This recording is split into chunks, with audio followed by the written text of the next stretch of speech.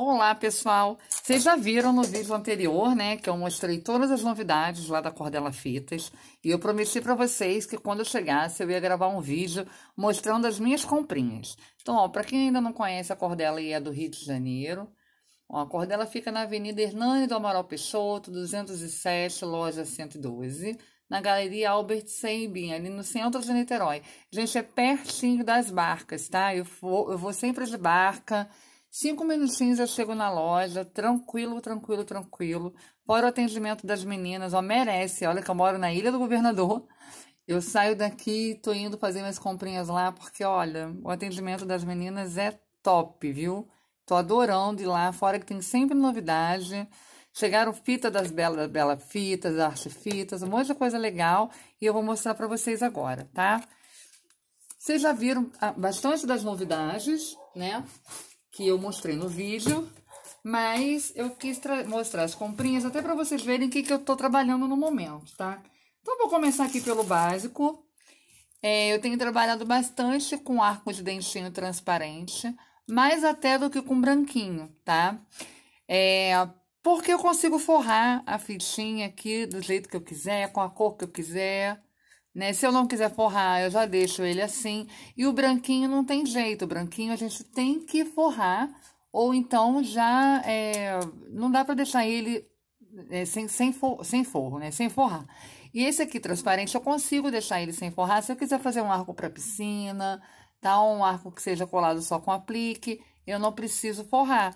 Então, esse aqui me atende melhor, tá? Então, eu tô usando muito mais hoje em dia o transparente e aí eu forro com a fita da cor que eu quiser ou deixo sem forrar e trabalho com o aplique, com o laço da minha preferência, tá? Pompons, eu trouxe os pompons de um centímetro, que são os que eu mais uso, nas cores que eu tava faltando, né? Que eu trouxe, então, amarelinho, ó. Trouxe branco. Trouxe vermelhinho. Eu acho que eu trouxe azul também, que eu tava... Ah, preto, trouxe preto. Ó, e trouxe um pacotinho azul bebê, que são as cores que eu mais uso por aqui. E estavam em falta, né, pra mim. Estavam em falta pra mim. Tinham acabado e eu tava precisando pra montar os arquinhos, né? Então, deixa eu afastar a minha bagunça aqui da minha mesa de trabalho. Pra poder ir mostrando aqui pra vocês. Espera aí. Pronto, ó. Então, vou botar aqui pro cantinho pra poder ir mostrando tudo aqui pra vocês, tá? Os arquinhos encapados, que vocês sabem que eu uso bastante. Esse aqui é o de cadarço. Tá, ó. Deixa eu ver se foca, ó. É desse material. Eu uso bastante esses arcos aqui para fazer os lacinhos básicos, que eu vendo bastante na feira. Tem cliente, gente, que não gosta de arcos de dentinho, tá? Então, essa é uma boa opção. É, eu vendo muito para criança pequenininha, tá? Criança de dois aninhos, que tá começando um aninho e pouco, que tá começando a mamãe a querer usar arco. Então, às vezes, a de dentinho, a mãezinha tem medo que machuque a cabeça da criança, tá? Então, eu uso bastante desses aqui. Bastante mesmo. E, e são bem aceitos. Então, eu sempre trago de cores variadas. Ó, eu trouxe aqui azul royal, pink, vermelho, rosa claro, lilás tá? Azulzinho. Eu sempre trago em vários tons para poder ter opção lá na feira. E até na loja física também, porque lá na minha loja também o pessoal tem procurado bastante, tá? Mais um pompomzinho aqui perdido. É que tem umas novidades que eu quero deixar pro final. Então, por enquanto, eu tô mostrando o que eu trouxe de básico, tá? Ó, trouxe bico de pato de 5,5, que é o que eu mais uso. E também bico de pato de 4,5 que são que eu uso bastante, tá? Tem mais um aqui perdido. Fitas lisas. Então, ó, eu trouxe variadas, tá? Então, eu trouxe um pouco de sanding. Eu trouxe, assim, alguns eu trouxe já cortado, 3 metros, mais ou menos, que são cores que eu não costumo usar muito e que eu ainda tenho um pouco aqui em casa. Então, para não não precisar comprar de 10 metros, já que eu ainda tenho, só com medo de faltar mesmo, eu trouxe. Pode dizer que eu não trouxe, sabe como é que é? eu trouxe. Então, eu trouxe no azul royal, no lilás claro, que minha lilás claro tá bem no finzinho. Verde água, que eu uso, mas não é uma coisa assim, nossa, eu uso toda hora. Não, não uso. Então, eu, eu trouxe menos, tá? Lá já vem já cortada a quantidade que você precisa. Então, eu comprei com 3 metros. É, rolo fechado, peraí, ó. Eu trouxe vermelha, 10 metros. Eu trouxe preta, branca. Eu trouxe da Progresso, da Gorgurão para Laços, tá? Da Progresso. Amarela também. Trouxe esse tom de rosa aqui, que eu sou apaixonada, 143 da Sanding. Tá? E trouxe também esse pink aqui da Sanjing, que eu também uso bastante. Eu tava bastante em rosa. A número 5, eu só trouxe essa rosa aqui, tá? Porque é 233, eu amo essa cor também. Porque eu tava sem nenhum rosa número 5, e número 5 a gente usa menos, pelo menos eu uso menos, então eu trouxe só um pouquinho.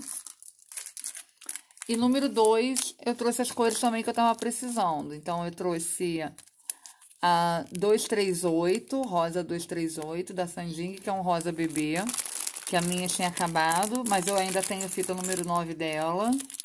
Aí eu trouxe para combinar com o amarelo que eu trouxe da, da Progresso, a número 2, a vermelha, a preta e também a azul royal, 60, tá? Da Sanjing para fazer casadinha aqui, kit de 2 e 9 das cores que eu comprei. Meia de seda, eu trouxe da Oriental, ó, nas cores preta, rosa bebê, um rosa mais escurinho. E esse tom de azul aqui maravilhoso, que são as cores que eu sei que eu não tinha em casa. E eu sempre caio na bobeira de sair, quando eu faço a minha listinha do que tá faltando, eu sempre esqueço de colocar a meia de seda, gente. Não sei o que acontece comigo. Eu anoto tudo, a cor que tá faltando da fita, o aplique que eu preciso, qual é a fita temática que eu preciso, tamanho do bico de pato, mas eu nunca anoto a meia de seda, tadinha. Então eu trouxe essas quatro que são as que eu mais vendo, porque se estiver faltando ali na minha caixinha de meia de seda, eu já sei. né? Aí não tem problema. Como eu já contei para vocês, lá vende as fitas cortadas, né? Não vende só rolo. Então, assim, eu trouxe várias estampinhas cortadinhas, porque não é uma coisa que eu é, vendo o tempo todo. Eu não vou, ah, vou fazer 20 laços da Peppa, não. Então, eu, eu trago aos poucos. Então, eu trouxe essa aqui do Tucano, porque eu tenho ainda bastante aplique aqui em casa de alguns temas, mas eu não tinha fita tá? Então, eu trouxe para poder trabalhar. E depois, lógico, mostrar para vocês, né, os modelinhos. Vou postar lá no Instagram, quem já me segue lá no Instagram vai poder acompanhar e se inspirar nos modelos, tá? E nas estampas. Então, eu trouxe essa Tucano, que eu tava querendo já há algum tempo. E por incrível que pareça, essa da Tucano é da Progresso, tá? Por incrível que pareça, todas as vezes que eu vejo o rolo do Tucano, eu vejo e falo, ai meu Deus, eu tenho que comprar essa fita, esqueço e não compro. Então, hoje eu anotei e trouxe. Essa é a boneca Michu, tá? É linda essa estampa aqui da Michu. Eu vou abrir aqui para poder mostrando para vocês. Em seguida aí eu já guardo. Deixa eu mostrar aqui. Ó. É uma graça essa estampinha. Olha isso, gente. Tá? Eu trouxe pouca para poder experimentar, porque eu ainda não trabalhei é, esse tema na fita estampada. Então, assim, eu tenho alguns apliques em biscuit da Me Too, mas eu ainda não tinha feito o laço com a fita estampada. Com o aplique, vendeu super bem. Eu trabalhei fita lisa, com o aplique vendeu super bem, mas com a estampada eu ainda não tinha trabalhado. Então, eu trouxe pouquinho para experimentar, e aí, tendo boa venda, né? Eu trouxe dois pacotinhos tendo venda, eu vou e compro o rolo. É assim que eu faço para experimentar, tá, meninas? Então fica a dica.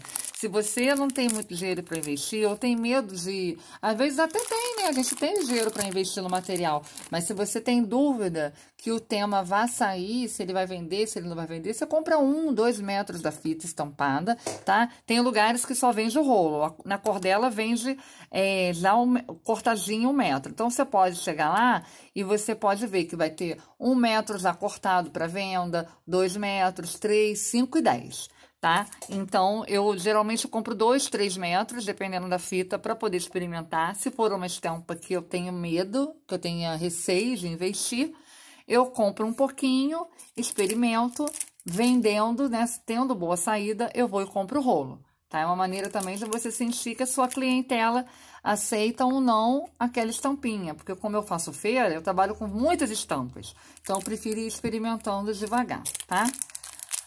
A escama de sereia sempre vende, eu ainda tenho algumas aqui, mas eu quis experimentar essa bem degradê, bem bonita, mas num tom mais escuro, geralmente as que eu uso são um pouco mais claras, então trouxe para experimentar. Trouxe essa aqui da Macha, que é diferente, eu achei ela diferente. Geralmente as da Macha que eu encontro, né, Macha e Urso, as estampas são sempre com fundo rosa. Essa aqui, ai, tá difícil de eu abrir, peraí, deixa eu pegar aqui uma tesourinha para facilitar. Então, eu resolvi experimentar nessa que tem um fundo azul com rosa, né, para dar mais destaque. Fora que eu amei, amei, amei, amei a estampa, tá? Essas fitas são da Sakura e elas são muito bonitas de fato. A impressão é maravilhosa e eu gosto muito, tá? Trouxe dessa degradê com estrelinha, que já é uma fita conhecida da gente. Eu amo. Eu já tenho muita estampa de LOL em casa, mas eu quis trazer essa aqui. Deixa eu mostrar.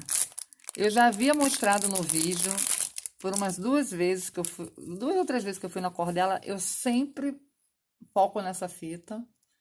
Eu acho ela uma graça, tá?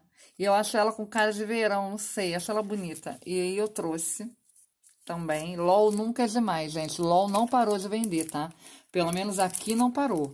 Então, eu continuo. Se eu não estiver laço da LOL, eu tô perdendo venda nas feiras, viu? E na loja também. Quantas coloca, quantas vendem. Olha essa aqui de estampa de brigadeiro no, no fundo rosa. Eu só tinha ela no fundo branco e azul tá? Mas aí é porque eu realmente não tinha, então eu comprei ela no fundo rosa, porque eu gosto. Essas aqui também de cupcakes, olha que bonita, tá? Que eu trouxe também para experimentar. Essa aqui já é da Sinimbu, Circo Rosa porque tá voltando bastante, assim, esse tema, a gente pode ver até nos apliques, às vezes, aí, das meninas que fazem biscuit, tem sempre aplique de palhacinha, aplique de foca, né, com coisas do tema circo. Eu achei muito graciosa essa, essa estampa, bem menininha mesmo. E aí, eu trouxe um pouquinho para experimentar. Tá? Deixa eu ver aqui o que mais que eu trouxe para vocês. E aí, na vibe do laço que eu fiz no canal para vocês essa semana, que foi esse laço luxuosíssimo aqui, que eu falei que eu ia fazer ele em diversas cores, eu vi que eu não estava com fita prata glitter da Cinembu, então eu comprei hoje também, aí eu já comprei o rolo, porque eu já tenho encomenda e vende, tá, tá uma procura grande desse laço, desse modelo, tá? Deixa eu mostrar aqui, ó da Bela Fita, que chegou de novidade lá. Eu trouxe essa fita de slime. Gente, eu amei essa fita. Amei com força.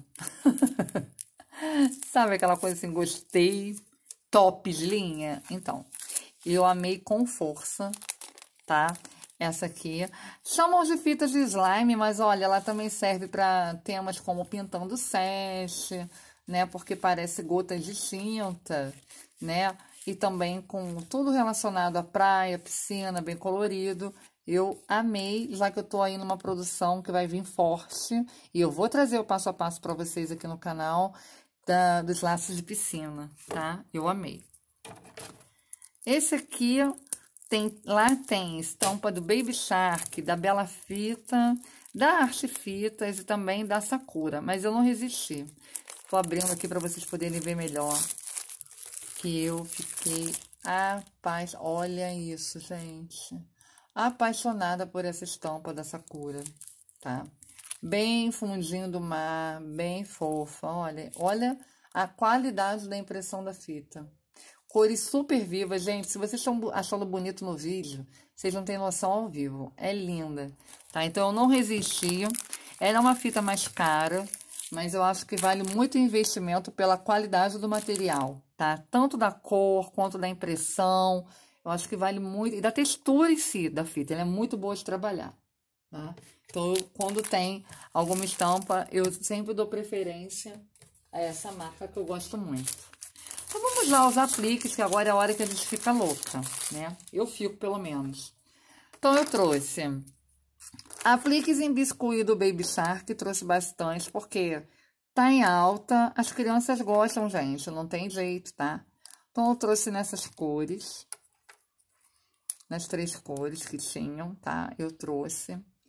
Eu acho que o laço com essa fitinha aqui e esse aplique, as crianças vão surtar. Eu também. eu também vou surtar, porque eu cheguei agora, já tô colocando os materiais aqui na mesa para poder mostrar para vocês, mas eu já quero fazer todos os laços, né? Porque a gente fica doido para trabalhar e ver o resultado. Olha esse de sorvete, lindos também. Ai, meu Deus, derrubei tudo. Pera aí, deixa eu pegar aqui. Separei tanto saquinho para não cair. Pera aí. Os nomes em MDF eu também tô comprando lá, então eu trouxe alguns nomes que eu tinha encomenda, ó, Manuela, Gabu, Gabi, Amanda, Malu, tá? Tem bastante nome, tem uma variedade enorme, até que eu tô pegando, meninos. Caiu tudo aqui na minha mão. Ainda bem que caiu dentro da cestinha.